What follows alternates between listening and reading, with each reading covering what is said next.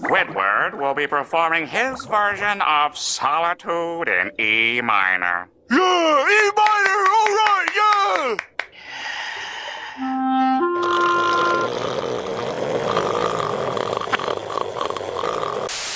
Oh, right, that All Star game was some of the most uninspired basketball I've seen in a while. Let's talk about it. So, if you happen to tune in for the All Star game over the past weekend, you might have seen what resembled somewhat basketball in a sense. Even before the weekend, I put up a small poll just to see what people's excitement level was for the All Star break, and it was lukewarm if I'm being kind. Nobody was really looking forward to this All Star weekend. They went ahead and put on a show that lived up to people's non expectations. Starting on Friday with the celebrity game, I didn't recognize the celebrities that were in the game. That's on me. I'm an old curmudgeon. I don't really pay attention to who's trending on Twitter these days, so it happens. As time goes on, you sort of fall out of touch with who's in the blogosphere, and I'm okay with that. Only person who I recognized that wasn't another athlete was Jennifer Hudson. Do with that information what you will. It was fine for what it was. Micah Parsons put on a show. Puka Nacua was great. I like to see everyone out there having a good time. It's all in good fun. That game was always one of those things that I always forgot was on and then when it was on I went and looked at it like oh yeah this thing is on huh I caught the tail end of it and they tried to add like flames and four point lines and all this nonsense, which I think is fine for a celebrity game. It's supposed to be fun. You're supposed to throw everything at the wall and see what sticks. So I don't have a problem with them trying a bunch of random stuff. It's not to be taken seriously. It provided a little bit of entertainment and it did what it was supposed to do. Now, on Saturday night, they had the Rising Stars Challenge, which I thought was going to be dominated by Team Pau because that roster is stacked. And maybe because they were so talented, they thought that the competition wouldn't play up to their level. They sort of tried to coast a little bit, but it was weird to see them get the drubbing that they did. They tried to come back towards the end, but it didn't end up amounting to anything. They had two or three rookie of the year candidates on their roster. So I thought this was easy pickings for them.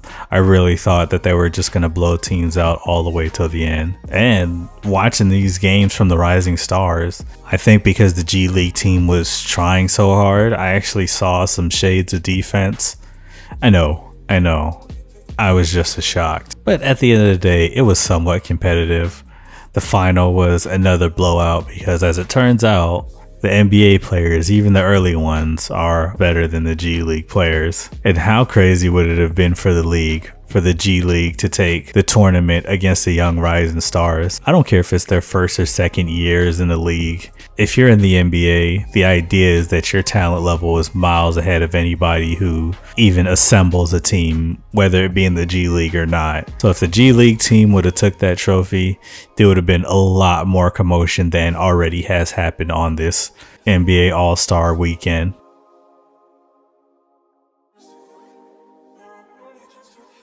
The skills competition was a little bit odd to me. I know everybody could do everything in the NBA these days, but watching people who don't play like skill positions try to do that sort of thing, it just felt awkward. The guys kept going the wrong way. They were blowing easy shots. It was just kind of strange. All entertainment purposes, but watching this just sort of felt like watching a bunch of kids learn the rules to a game that they had never played for the first time and fumble around until the end. I'm not mad at it, but I could have did without it. Next up, I got to talk about that three-point contest between Sabrina and Steph. Oh wait, there was there was an actual three-point contest. Uh, let's see what happened there. Um, the usual. People were lighting it up. I like the three point contest. You don't change the formula too much. You add a couple of extra scoring opportunities and the formula stays the same. It's still exciting to me to see these guys do it at the high level and for them to compete and get shots up. There's something so primal about when somebody's lighting it up and you keep seeing that ball go in that gets you a little bit hype every time. At least it does for me. I didn't think that the three point contest needed a tweak. I'm okay with the changes. Again, this is all for fun, so I'm not a stickler for trying to keep things the same or not touching the rules because at the end of the day, it's all entertainment. And for the three point contest, it's been solid for a while now. Just the idea of people trying to shoot it out to see who's the best three point shooter is loads of fun. I like when it was coming down to the end and Dame was just hitting shot after shot and you know he had to come up clutch to get the win and at the end he did in the Dame time celebration was just so high. That's one of the better celebrations of all time. I think I may or may not make a video about my favorite NBA celebrations.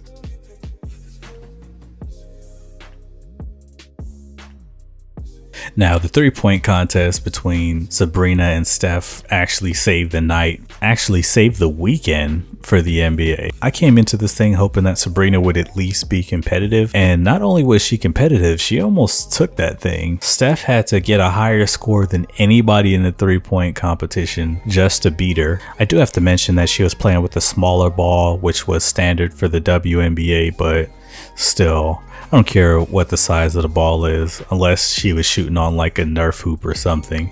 That was still impressive for her to put up 26.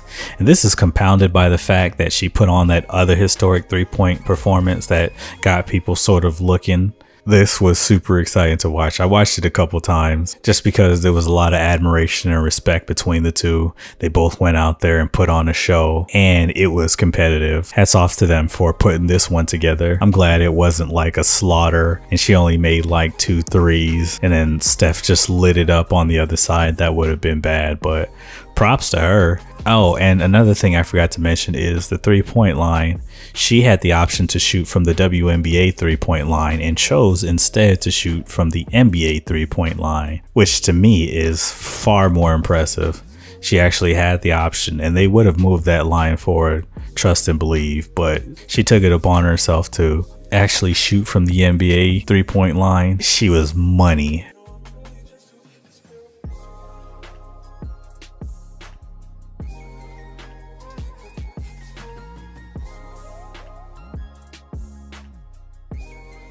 On to the dunk contest. And yep, it certainly was a dunk contest. First, I want to say props to Jaylen Brown for even participating in the dunk contest because even though he didn't have the greatest performance, he is probably one of the bigger names in the league, and not many are willing to put their hat in the ring. So, just the fact that he even decided to join the dunk contest alone was pretty good for me. Mac McClung did his thing. I think his first dunk should have been his last dunk. That was the best dunk of any of the dunks by far all night. I really wish he would have saved that for the end to set the house on fire. The funny thing was when Jaylen Brown went to dunk, they completely didn't show it on the broadcast. I had to rewind it like five times because I thought I missed something. Nope, they just straight up missed the dunk. I think that was just indicative of what this all-star weekend had been all along. Just a whole bunch of missed opportunities. He did all right. I think the dunk over Kai Cenat would have been a lot better if he was guarding his face the entire time. It was funny because it looked like he jumped and he forgot that's what he was supposed to do and then he remembered at the end and tried to bring it all together, which I think was way worse. I think if you do that, you jump and you forget to cover your face, you either play it off like you're doing a celebration at the end or you just don't do that at all. What he did was end up in this weird purgatory where he was sort of covering his face and sort of trying to do it at the end after he remembered it it was weird. But again, props to him for being the biggest name in this dunk competition. And then Mac McClung, the G Leaguer, who can't even get a roster spot in the NBA, is dominating the slam dunk competition in the most quote unquote athletically prime generation that we've ever seen, which is completely hilarious to me. Um, I thought it was funny. I remember they asked him at the end whether or not he'd be back in the dunk contest next year. Before we leave tonight, is there a chance that you would give us the opportunity to witness a three-peat next year? I'd have to think about it. Um, I'd never say never, but I'll think about it. Like, buddy, I know this is huge for your name and likeness and everything that you got going on. If they invite you back, you're coming.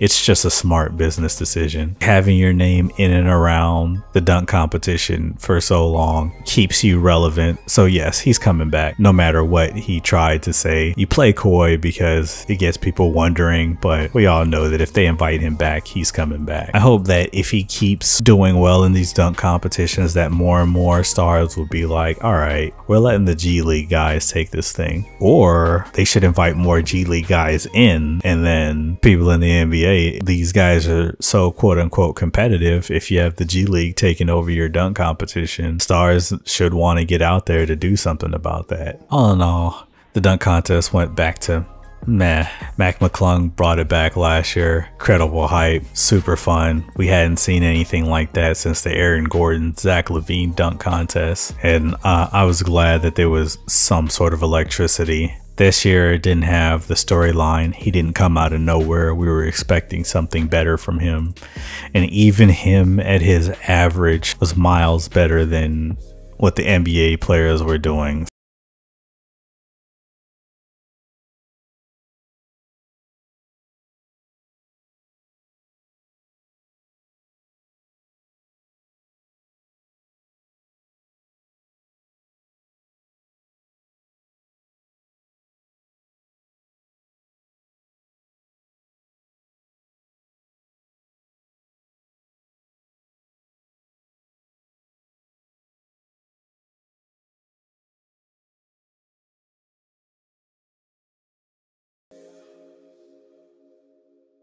The only problem I see with the dunk contest is the lack of creativity. I know these guys are wizards and savants in regular games, but when it comes down to getting creative with dunks, I haven't seen a lot of creativity, and that's what's missing, honestly. Bringing out whatever celebrity guest and wearing whatever retro jersey everybody does this thing now where you wear somebody's jersey or you bring out some random celebrity and you jump over them. That's been done so many times now. The idea is tired. We need more creative ways to get dunks in here and it's not just wearing a costume that's not doing it. The creativity lies in the dunk itself too. So yes, you can wear the costume, you can imitate the dunk, but get creative with it. Just the small thing that Mac McClung did where he jumped over somebody. He tossed the ball to himself, caught it, and did a reverse slam. That was the best dunk all night because it was creative. He did it with authority, and it was something that we had never seen before. That's the kind of thing that keeps the dunk contest live, in my opinion. Indy's a great host city, but I didn't necessarily feel their engagement with this whole thing and it's not their fault. This dunk contest hasn't been exciting for a while, so I can see why they wouldn't be enthused about anything that's going on. But I don't know. If I'm in the crowd, I'm selling it, bringing the energy just because, you know, I'm part of the spectacle itself to hopefully amp these guys up to get a little bit something. But I don't blame them for being a little bit mellow when the whole thing was going on because they didn't really have much to cheer for. So yeah, uh, dunk contest was what it was was, what it has been for a few years now. But what people need to do is get creative, please.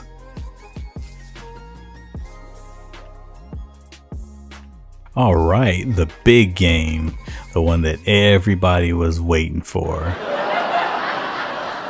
now, it's bad enough when these teams in the All Star game are putting up points at will and throwing up threes, it's scoring a million points in these games. It's even worse when it's a blowout. The highest scoring is boring enough, but if in the last like minute or two, it's somewhat interesting because you don't know who's gonna win, that at least keeps you somewhat engaged.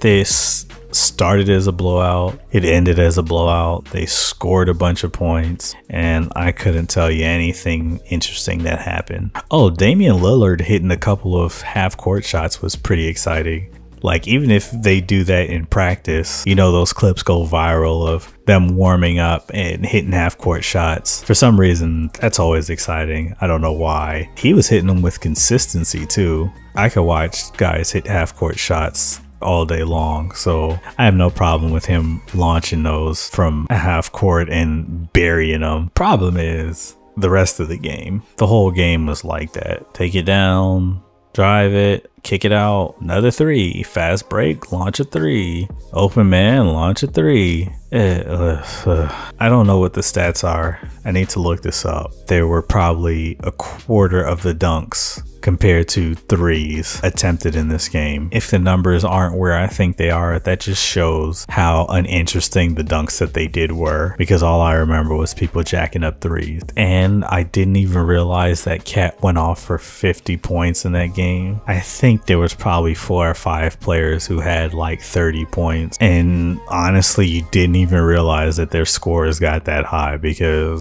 things were just happening. It was just an unintelligible mess of basketball basketball. It was a manila folder on a beige wall. Just boring. They booed Damian Lillard for getting the All Star Game MVP. Damian Lillard.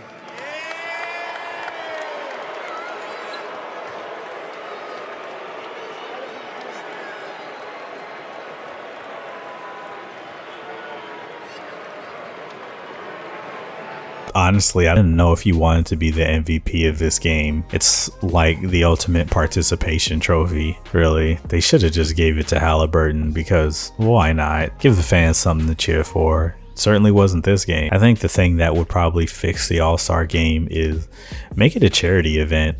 Make them have to play for a certain charity. Oh, you don't want to win? Oh, I guess you just don't care about those starving kids in your home state, huh?